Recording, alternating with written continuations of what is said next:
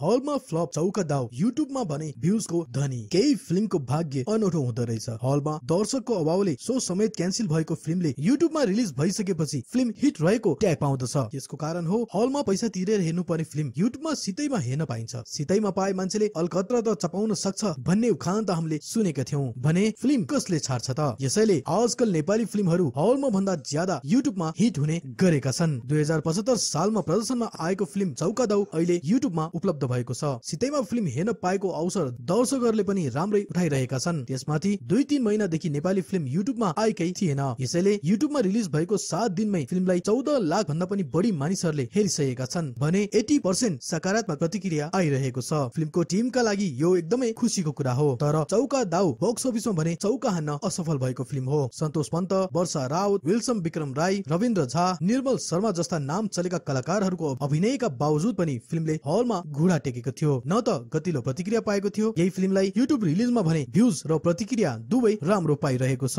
युट्युबमा पाएको भ्युजको आधा मात्रै पनि हलमा टिकट बिक्री भएको हुन्थ्यो भने चौका दाउ सर्वाधिक कमाई गर्ने पहिलो नेपाली फिल्म बन्ने थियो। कबड्डी र छक्का सिरिज कमाईमा धेरै पछि हुन्थे। युट्युबमा फिल्म रिलिज गर्ने होडबाजीले हलमा फिल्मको व्यापार चौपट बनिरहेको छ। यस बारेमा तपाईँहरूको पनि अमूल्य प्रतिक्रिया तल कमेन्ट बक्समा लेख्न भने नभुल्नुहोला।